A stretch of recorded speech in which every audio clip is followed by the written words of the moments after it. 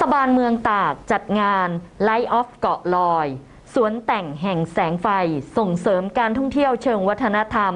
กาดน้ำเกาะลอย กระตุ้นเศรษฐกิจภายใต้สถานการณ์โควิด -19 ค่ะ ที่บริเวณหนองน้ำมณีบรรพตเกาะลอย อำเภอเมืองตาก จังหวัดตาก นายสมชัยกิจเจริญรุ่งโรธผู้ว่าราชการจังหวัดตากมอบหมายให้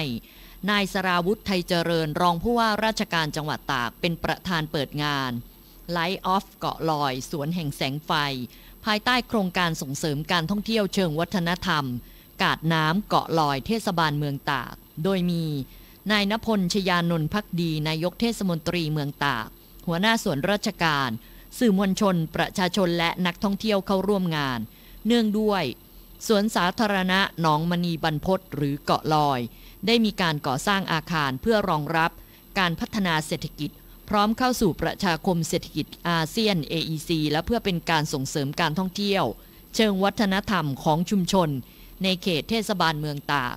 สร้างรายได้ให้ชุมชน เทศบาลเมืองตากจึงจัดทำโครงการ เพื่อส่งเสริมการท่องเที่ยวเชิงวัฒนธรรม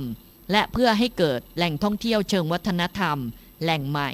นำไปสู่ความยั่งยืนของแหล่งท่องเที่ยวแห่งนี้ ภายใต้สถานการณ์การแพร่ระบาดของโควิด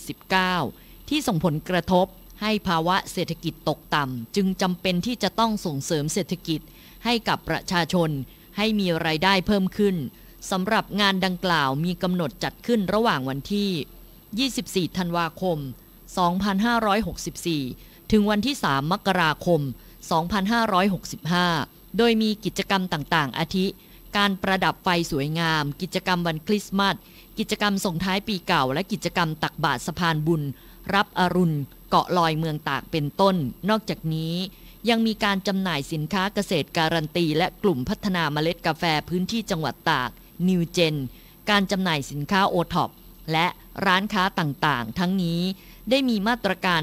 สำหรับป้องกันการแพร่ระบาดของโควิด